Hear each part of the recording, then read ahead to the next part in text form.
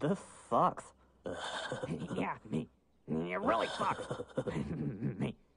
This sucks more than anything that has ever sucked before.